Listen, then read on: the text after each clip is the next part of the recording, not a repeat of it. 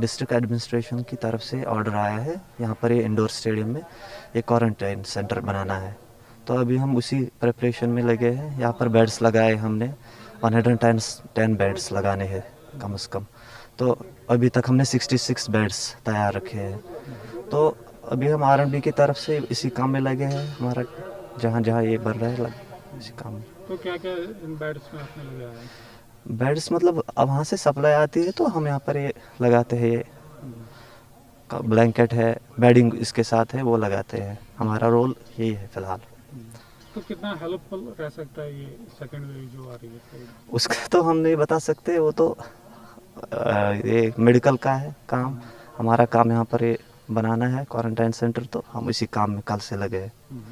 तो पूरा एहतियात किया जा रहा है हर किसी चीज़ में? हाँ हाँ बहुत। देखो, यहाँ पर हमने स्पेस भी बहुत रखी है बेड के बीच में। तीन तीन फीट, चार चार फीट रखी है। वही मेंटेन हम कर रहे हैं यहाँ पर। बाकी डिपार्टमेंट्स भी लगे एसएमसी है, बाकी पीडीडी है, वो भी लगे सैनिटेशन में, बाहर से।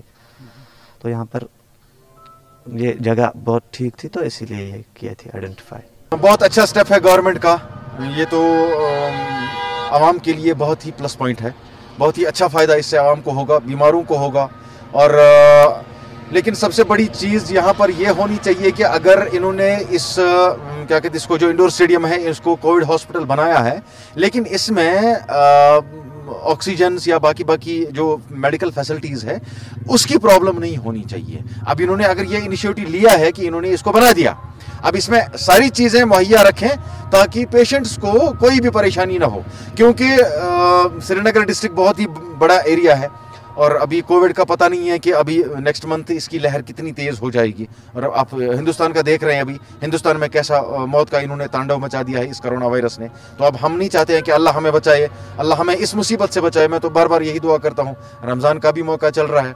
अल्लाह से बार बार यही दुआ है कि हमें इस मुसीबत से नजात दिलाए। और गवर्नमेंट को भी चाहिए कि वो इस इनिशिएटिव को उस हद तक ले जाएँ कि कश्मीर के जो यहाँ पर हम पिछले सत्तर साल से हम मुसीबत से झेल रहे हैं, हमें आगे कोई परेशानी ना हो। तो बाकी तो गवर्नमेंट खुद जानती है। मैं तो गवर्नमेंट नहीं चलाता हूँ। मैं अगर चला लेता तो अलग बात थी। लेकिन ठीक है अच्छा इनिशिएटिव लिया है गवर्नमेंट ने।